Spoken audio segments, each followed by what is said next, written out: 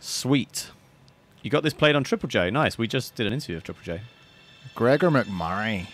Is that an Irish person? That must be an Irish person. Yeah, it sounds it. Gregor McMurray.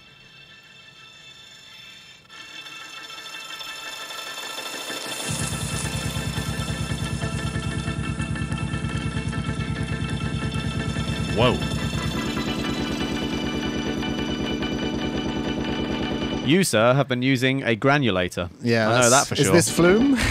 This is a granulator. oh.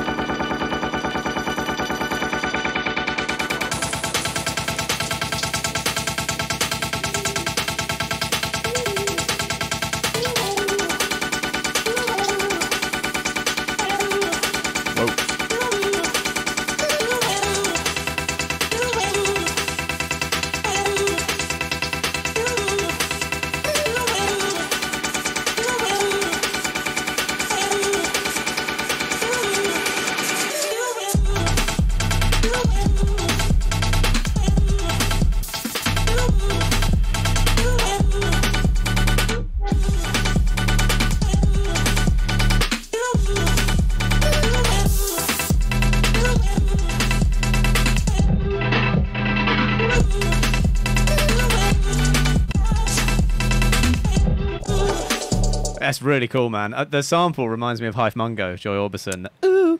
Oh yeah, yeah, yeah, yeah, yeah. Um, but the sound design is great. I love how it just sounds like you're messing with the effects le- left, right, and center. yeah. It's Put cool. it through reverb, put it through this, put it through that.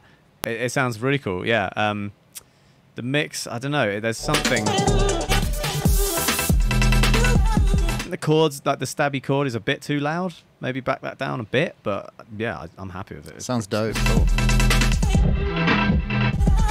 But yeah, the, ooh, ooh, I do Yeah, isn't Hyph Hyph Mngo? Mngo, yeah, Joy Orbison, but one of the greatest tunes ever, so nothing wrong with that. Good job. Um,